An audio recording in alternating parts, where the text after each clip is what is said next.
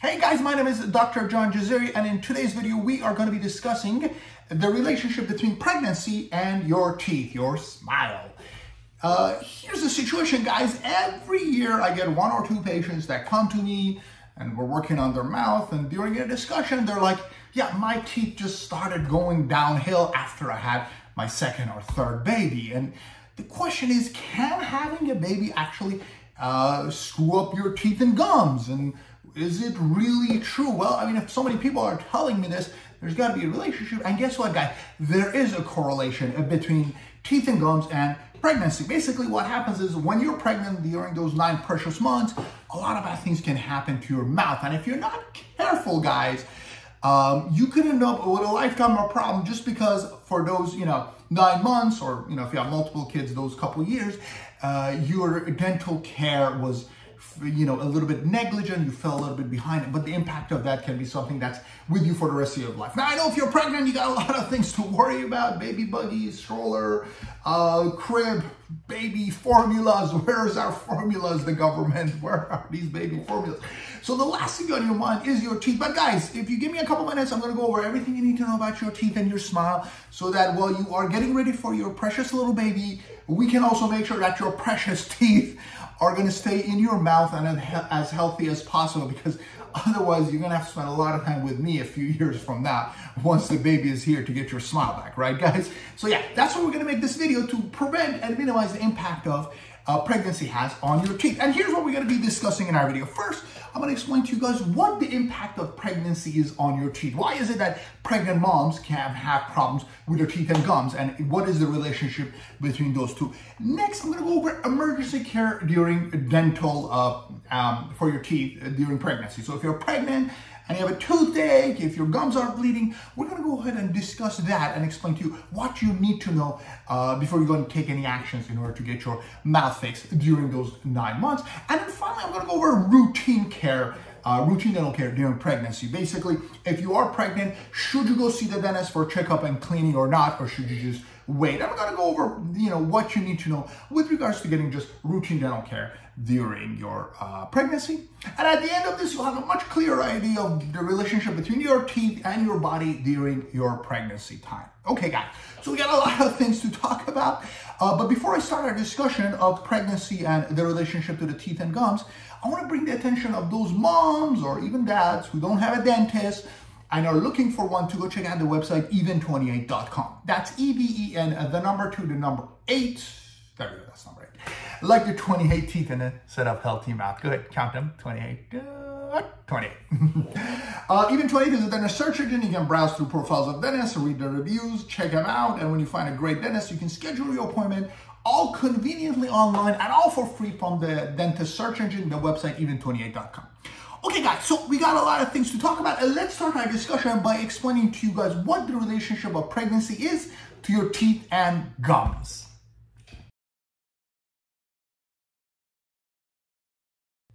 Okay guys, so what is the impact of pregnancy on your mouth? Pregnancy can affect your teeth and your gums. So what it can do is it can increase uh, the chance of you getting cavities and it can cause gum disease, a double whammy. Okay, so how do we prevent the effect of pregnancy and what is it that causes these things? Okay, let's go over a couple simple things that uh, happens during pregnancy that can affect your smile. One of these is a change in hormones. When you're pregnant, your hormone levels are changing and that can, that can actually cause the inflammation of the gum tissue and bleeding. In fact, more than half the people uh, who are pregnant, half the ladies who are pregnant, have some kind of a pregnancy-related gum disease.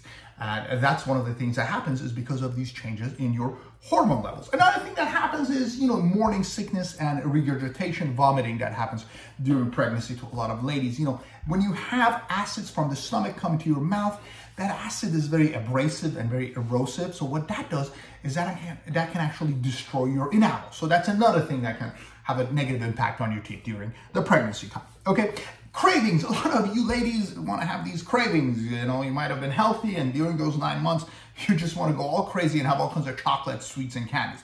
It's normal. You know, a lot of people have changes in their diets and they're craving carbs or something different from their normal routine. And if you are craving a lot of candies and sweets, uh, that can actually cause cavities. Two Okay, so that's another reason. And then finally, the changes in your nutrients. You know, when you're pregnant, you know, your body has to share these nutrients with your baby. So that can actually affect the nutrients that's in your mouth, which can have a negative impact on your teeth and your gum tissue. Okay, so those are a couple little things. And now that you understand them, addressing them is actually easier than you can you imagine. Okay, first of all, with regards to the changes in the hormones, obviously you want to be under care of a physician, and you know if they're taking care of your body and everything's going well in that aspect, then yeah, that's actually going to have a positive impact on your mouth. So if your physician's happy with you, your dentist, which you're probably not going to see for a while, is also going to be happy with your mouth. So keep your hormones under control, and you'll be in pretty good shape.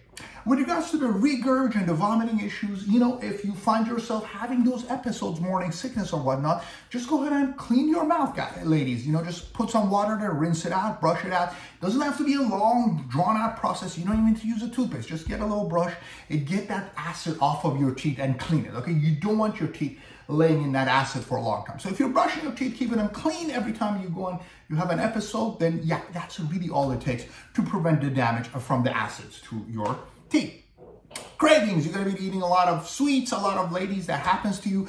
What do you wanna do is you wanna avoid the stickier ones. So, you know, the gummy bears and the chocolates, the ones that are really sticky and stick to your teeth can be the most damaging as well as sodas. Now, if you find yourself really wanting those, fine, go ahead and have it. But again, you wanna brush your teeth and you want to also drink a lot of water because when you're drinking water, the water washes away these sweets and candies from your mouth. So get in the habit of just carrying a brush and brushing your teeth more than twice a day, you know, if you have to, and just drinking a lot of water, sipping on water. That'll also keep your mouth clean. It'll uh, help remove all the uh, sugar stuff from your teeth. If you do those two things, that's really great, and that'll really go a long ways in terms of preventing the damage to your teeth from these uh, uh, cravings and the chocolate and candies that you might be consuming during the nine months of pregnancy. Okay, and then finally the nutrients, you know, if, you know, your doctor gives you any kind of vitamins, prenatal vitamins, a lot of, you know, ladies have to go through those, take them and make sure your nutrients are keeping uh, up. Uh, just, you know, keep a healthy lifestyle and try to get as much as good stuff as you can for you and your baby. And that's going to also have a positive impact on your baby as well. But yeah, guys, there's a lot of things during pregnancy that happens, and a lot of it can impact your teeth.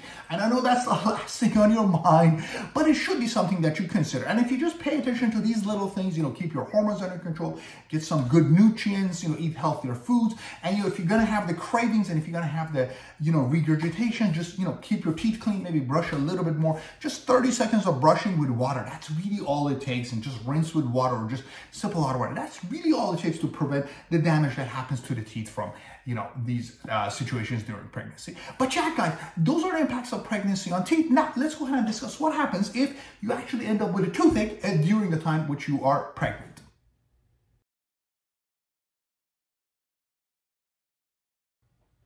Okay, so let's go over emergency dental care uh, during pregnancy. Okay, so you're pregnant and all of a sudden you have a toothache, your gums are bleeding, and you decided to uh, see a dentist. What do you have to do, guys? Okay, uh, first and foremost, this is very important. If you have had a relationship with the dentist before you got pre pregnant, that's fantastic. You want to go back to that same dentist because going to a new dentist during pregnancy is always challenging and cumbersome because a lot of dentists just kind of are hesitant working on you during pregnancy, right? And again, you know, we cannot discriminate. Am I comfortable working on pregnant patients all day long? But there are certain protocols you need to understand and you need to follow. And I would prefer for you to have in my patients if given the option. Okay, now, of course, that's not always the option. You know, we move a lot. You might have moved, not seen an dentist for three years have fun with the hubby, created that wonderful baby, and all of a sudden you get a toothache. So you don't have a dentist that lives anywhere close to you, thousands of miles away. Fine, go and find a new dentist. But the benefit of having access to your old dentist is a copy of the x-rays. Because what happens is, you know, if you're gonna go to a new dentist, they're not gonna wanna take 15, 18 x-rays to view your whole mouth. That's a lot of radiation, which is really not considered safe. And we're gonna get into the radiation in a minute. But if you get a copy of your x-rays from your previous dentist, fantastic.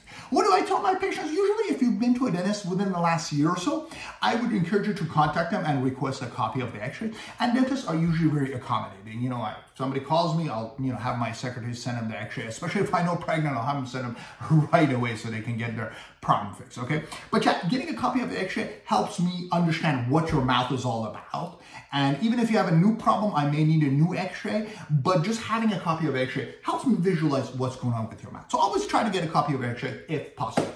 The other thing that's important is to get permission from your physician to see the dentist.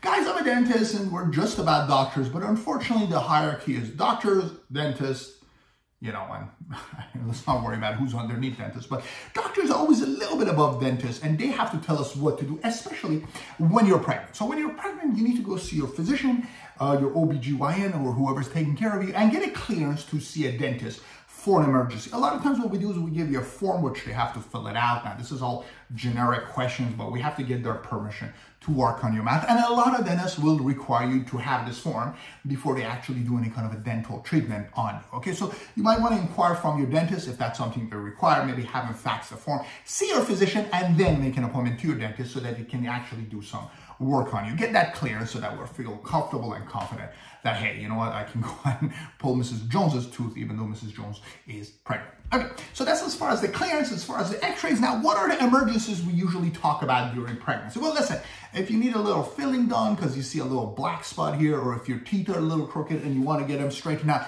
those are things that you're probably not going to want to do during pregnancy, and your dentist isn't going to want to do during your pregnancy either because they're cosmetic, they're not essential, they're not medically necessary. They can wait a couple months. Now, if you have a toothache or if your gums are bleeding, that's different, and that's emergency. And you know what? That cannot wait nine months because Otherwise, it could get much worse. You can cause infection and have more serious problems. So if you're having actual toothache, throbbing pain, or gum disease, then that should be addressed because not only are you going to be in pain, you don't want these to create bacteria and infection, which is going to drain into your arteries and sinuses and go into your body and affect that little baby, right? So what you want to do is if you're having actual tooth pain, well, then you got to go see the dentist.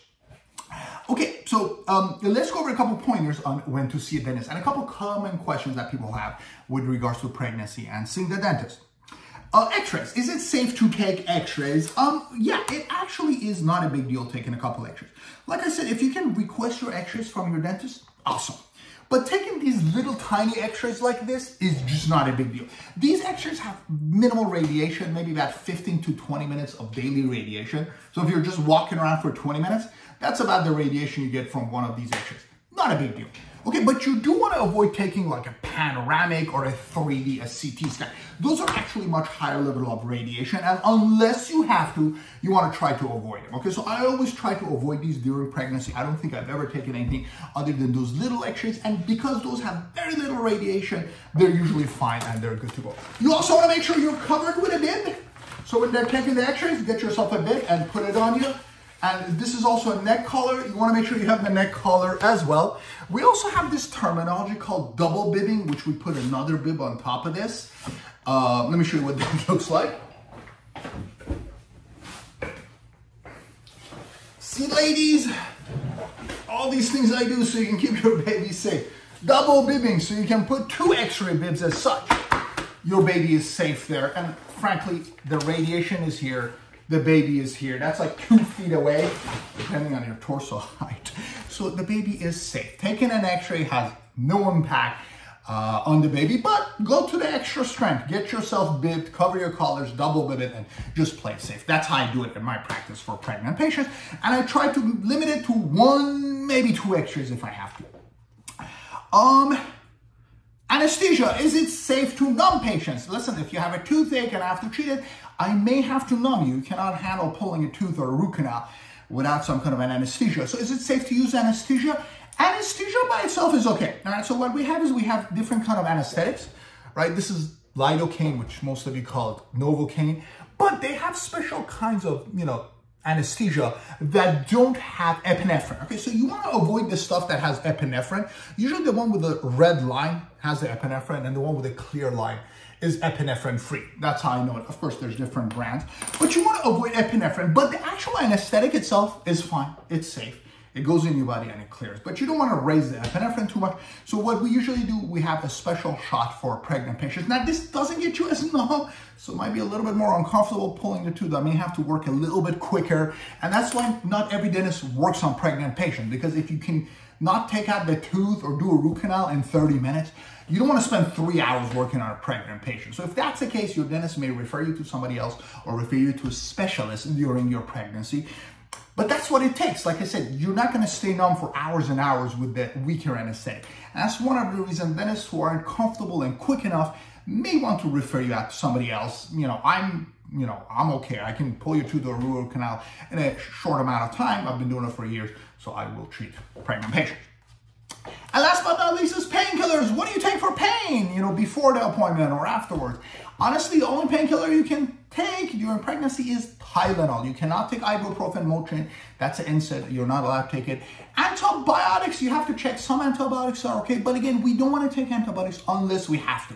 So when you're not pregnant, everybody who gets a tooth extraction, implant, root canal gets antibiotics. When you're pregnant, you almost never get it unless you absolutely need it. And again, if you need it, a lot of times I refer patients to their physician. I'm like, call your physician and have him prescribe you an antibiotic.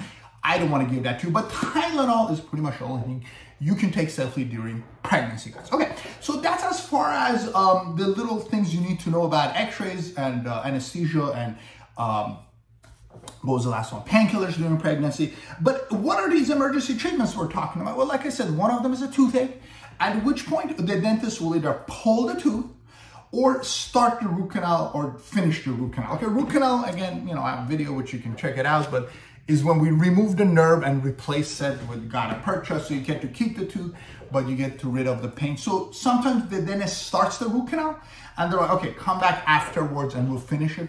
Or they finish it in one day, okay? Regardless, or they pull the tooth, okay? I usually prefer pulling the tooth unless it's like in the front, at which point I do the root canal. But yeah, those are the two common treatments you're gonna get. And again, your dentist wants to be quick, efficient, get it done in one day or send it to you to a specialist so they can do it right and quick. You don't wanna be spending weeks and weeks going to the dentist during pregnancy. And being efficient and getting the work done quickly is very critical during these times.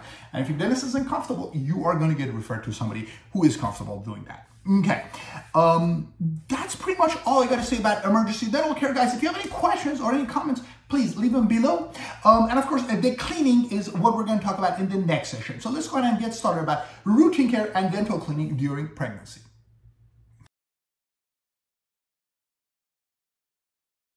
Okay, routine care during pregnancy. When should you see the dentist? Well, the best time to see the dentist uh, during the pregnancy is the second trimester. Okay, so when you're about three to six months pregnant. Why is that? Is because the first trimester is usually very tough, and then the third trimester, you're this big. Second trimester is when the baby's developing the least, and it's the most comfortable for moms. So that's usually when we like to see the patients for routine care.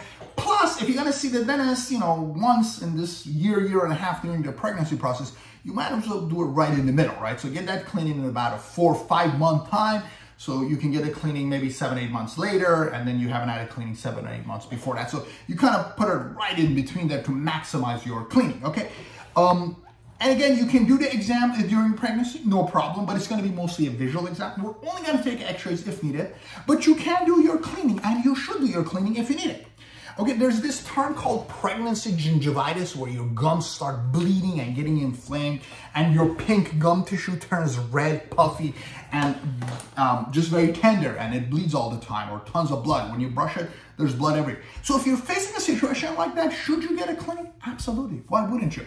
Um, to let this, you know, damage your teeth, plus uh, you know, if you have gum inflammation and periodontal disease, you can actually be uh, draining bacteria into the you know, gums and your mouth and from there to the arteries, sinuses to the body. So you don't want to risk it. You know, if you have bleeding gums, just go get it clean. It's very simple. The second trimester and you know, it's just that simple. Skip the x-rays. You know, if you have tooth problems and stuff, come back after pregnancy. I'll take your x-rays then. It's a little bit of a risk you have to take, but you know, that's just how it is. If you've been to the dentist six, seven, eight months ago, you probably don't have anything to worry about. Haven't been to the dentist for a couple years. Okay, fine. Go get your cleaning now. And then come back when you have the baby and you can see the dentist and we can kind of discuss, you know, fixing your mouth, you know, and a lot of times that's a year or two down the line, I don't know. But at least get that cleaning to minimize the damage. And that's one of the most critical ways you can avoid the, the long-term damage of pregnancy to your teeth is that cleaning during the second trimester. Okay. Uh, what else I got to tell you guys about this? When I see patients during pregnancy, I never lay them all the way down. I usually put them at about a 45 degree angle or maybe even closer to 90 degree. So, you know, the baby is nice and comfortable. Um, we don't take x-rays. And I prefer not to use any kind of a fluoride or anything that can pose any kind of a risk to the mom or the patient. So I just do a pumice cleaning, keep it very simple, use my hand instrument. I do not use my ultrasonic, just a very simple cleaning. Get your gums under control. And a lot of times I recommend patients to um, use salt water to rinse after them. I don't like prescription mouthwash, especially during pregnancy. Uh, maybe rinse with some kind of a peroxide baking soda solution to get your gum bleeding under control. Increase your flossing. But yeah, you want to keep it as safe and holistic as possible during pregnancy. Uh, but yeah, get your cleaning. There's nothing wrong with getting a cleaning, and I always recommend doing it. In fact, a lot of my patients who come to me during pregnancy are referred to me by their OBGYNs and their physicians who actually care, and they look at their gums and they're like, mm, your gums are bleeding. You should go see a dentist for a cleaning. And again, the cleanings are kept very simple, very rudimentary, no extras, just a quick exam just a you know basic cleaning. And then we can pick it up after the pregnancy do the full exam and you know make your treatment plan etc etc okay guys? But yeah that's how routine care is. I would personally recommend it. And if you feel you need it talk to your physician or just go see a dentist and get that cleaning and get your gums cleaned up so that you're ready for the next you know nine months until you can go and see the dentist again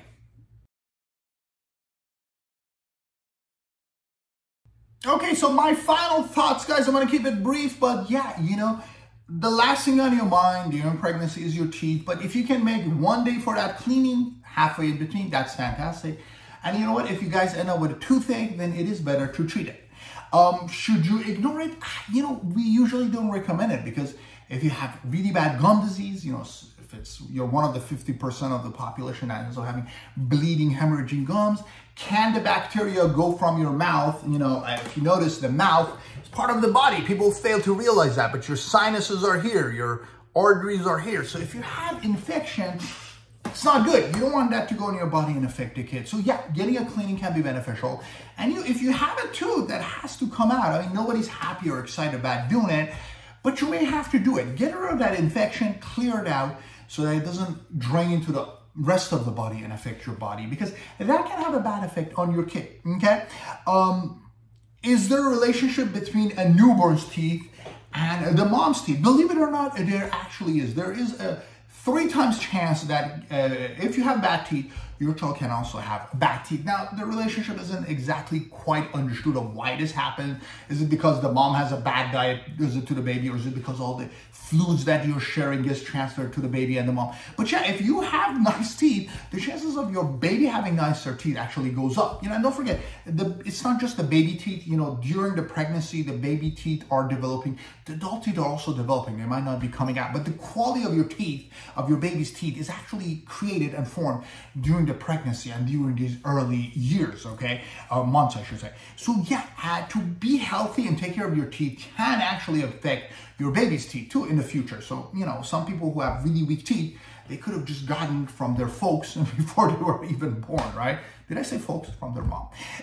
um, but yeah, take care of your teeth. And if you have an infection, clear that. But that's it. Don't do cosmetic stuff. That can wait. Don't do braces and clear aligners and, you know, stuff like that. Those couldn't wait. You know, you got a little chip tooth. That can wait. Only go there for emergency stuff or stuff that can cause infection because you don't want to infection in your body that can affect the kid. And you just don't want to have infection in your body, period, guys, okay? And of course, if you're in pain, then you got to go and you got to go through these protocols and get your teeth fixed. But again, the key to a lot of these guys is having a relationship with your dentist before this happens. So if you're planning on getting pregnant, might not be a bad idea to just schedule a checkup cleaning, go get your x-rays done, find a nice local dentist that you like nearby, and just kind of have them on, you know, just, just like you have your physician, your OBGYN who's going to give birth to you, to your kid, you might want to have a dentist kind of ready to go just in case you need to see him, you know, and if you want to make an appointment for that cleaning halfway in between, fantastic, go ahead and do it. Just make sure you follow all my other protocols and um, you'll be good to go. Guys, good luck with that little child. And good luck with keeping your teeth nice and healthy because you know what? Your kid's gonna leave you in 18, 20 years. you're stuck with your teeth forever. So make that little time to take better care of your teeth and you'll be grateful for me. So you're not one of those patients who says, oh, my kid destroyed my teeth. Guys, if you have any questions or comments, please put them in the description box below. And if you have, you know, dental problems because of your kid, please share your experience. I really wanna know what your experience was with kids and how it affected your teeth. I can guarantee you, I've seen some moms that have said it has happened. And while I haven't been their patient for, you know, 40 years, to know how true this, but I know there is a correlation and there's been some proven evidence that there's a lot of relationship between teeth and pregnancy. And there could be some, you know, bad effects on your teeth. But if you guys pay attention and do the things I told you, we can help work together to minimize the impact of pregnancy on teeth. Guys, I hope you enjoyed this video. Be sure to subscribe and I'll see you guys next time.